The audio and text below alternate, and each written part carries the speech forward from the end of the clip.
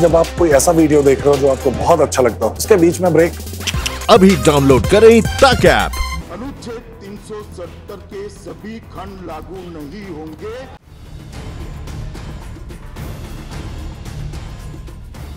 जम्मू कश्मीर से अनुच्छेद 370 हटाए हुए दो महीने से ज़्यादा हो चुके हैं लेकिन पाकिस्तान लगातार इस मसले को दुनिया के सामने उठा रहा है और हिंदुस्तान बार बार पाकिस्तान को मात दे रहा है।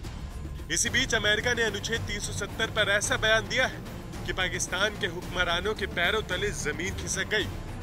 अमेरिका ने एक बार फिर अनुच्छेद 370 पर भारत का समर्थन किया है। ट्रंप प्रशासन की ओर से कहा गया है कि भारत ने जम्मू कश्मीर पर जो फैसला किया है, वो उसका समर्थन करता है। अमेरिका के विदेश मंत्रालय के दक्षिण एशियाई डिपार्टमेंट की असिस्टेंट सेक्रेटरी एलिस वेल्स ने कहा कि भारत ने इसके पीछे तर्क दिया है।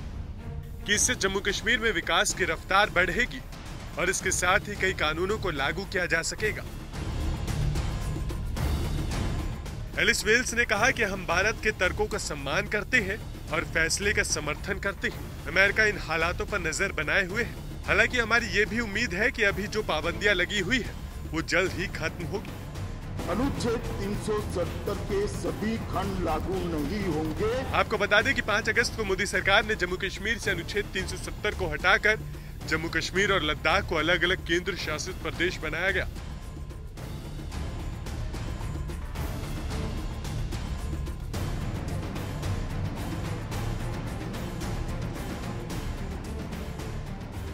और इसके बाद से पूरी दुनिया में ही इस मसले की चर्चा हुई।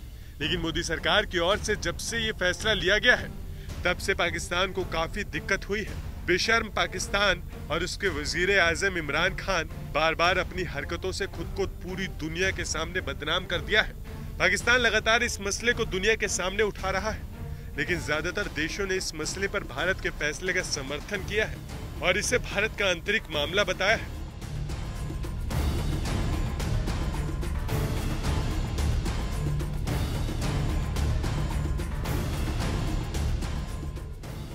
पाकिस्तान और पाकिस्तान में रहने वाले आतंक के आकाओं की ओर से कश्मीर के मसले पर अपने देश में कई तरह के प्रदर्शन भी किए गए।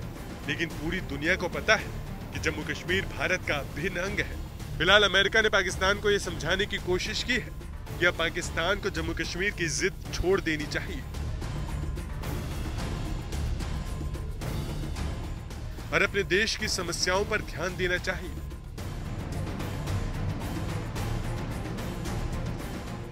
क्योंकि अमेरिका को अच्छे से पता है कि ये न्यू इंडिया है और न्यू इंडिया जैसे को तैसे की भाषा में जवाब देना जानता है।